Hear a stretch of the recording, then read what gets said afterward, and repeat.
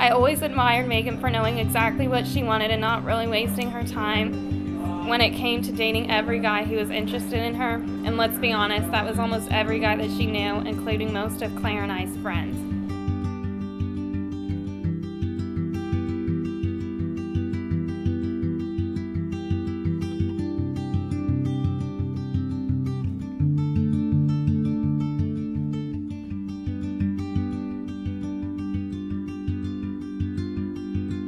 About three and a half years ago, I met Chase for the first time. I couldn't ask for a better, better brother-in-law, and I'm so excited that Chase is officially a part of our family. Chase has proved to be a caring, generous person by not only being there for Maygan, but also being there for our entire family. There have been times that Chase has gone above and beyond to help me out in one way or another.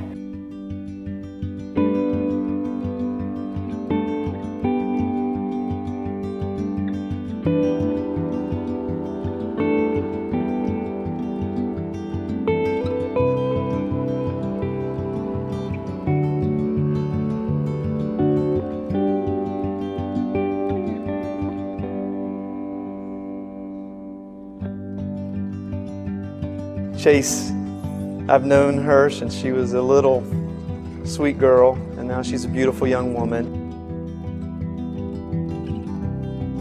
I speak for those of us who know you a little bit, and we're so glad she got you, and uh, you get her. Marriage is difficult, you know that, but it's not complicated. It's not. The key to marriage is very simple submit to one another out of reverence for Christ. Contained in that one statement is really the key that there is a mutual submission that takes place. That when you have two people trying to outserve one another for the benefit of the other, there is a reciprocity that happens of respect and affection that is really impressive to watch. And uh, that's your calling. You're to model Christ's love for his church and his church's love for him. In that relationship, you're the servant leader. The groom dies for the bride. That's what you're agreeing to today because that's what Jesus did. There's not a man alive who doesn't want his wife to respect him.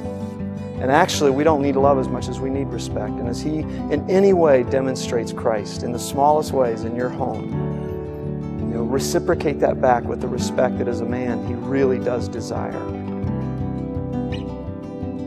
Your marriage is about to begin with a promise.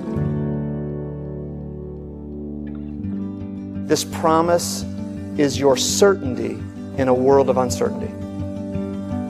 That's what it is. It transcends utility and beauty and handsomeness. It transcends that because love is not a feeling, it's a choice. The feeling of love is the fruit of the commitment you're about to make, not the root of it. The root of it is before God and these people right now, you're making a promise. You know what love is? Love is patient. Love is kind. Love is, is, does not envy, does not boast, not proud, is not rude, is not self-seeking. Love does not delight in evil, rejoices with the truth. It always protects, always trusts, always hopes, always perseveres. Love never fails.